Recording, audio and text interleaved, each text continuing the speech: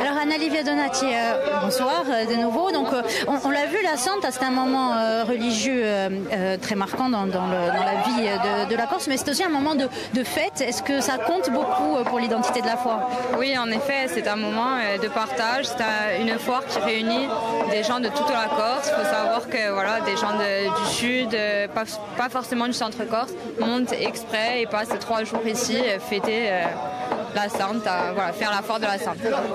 alors, alors la foire fête ses 100 son 189e anniversaire cette année.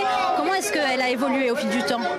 Alors, il faut savoir que tout d'abord, la foire euh, donc la, la Santa Gignol, c'était une foire agro-pastorale. Euh, donc, euh, il y avait la foire aux bêtes, tout ça, à la fin de la en redescendant, donc euh, pour euh, limiter à dire. Et tout doucement, la foire a évolué et on essaye d'évoluer avec notre temps. Donc, tout doucement, de proposer euh, d'autres choses comme des concerts. Euh, maintenant, c'est plus la foire aux bêtes, mais c'est les artisans qui exposent leurs produits. On essaye de- d'avoir des, artisans locaux. Ben, Justement, alors cette année, euh, il y a 90 exposants et artisans, 18 buvettes. Comment est-ce que vous sélectionnez les personnes qui participent? Alors, euh, on essaye de faire confiance aux artisans, donc euh, ils nous présentent leurs produits, ils nous, nous contactent pour savoir s'ils peuvent exposer.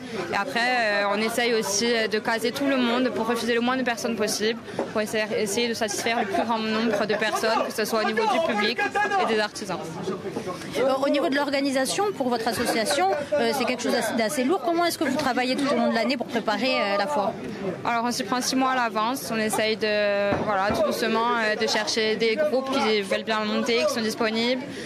On essaye de trouver le maximum d'artisans, de préparer. Il faut savoir que c'est une logistique assez importante qui nous prend quand même euh, assez de temps. Quoi.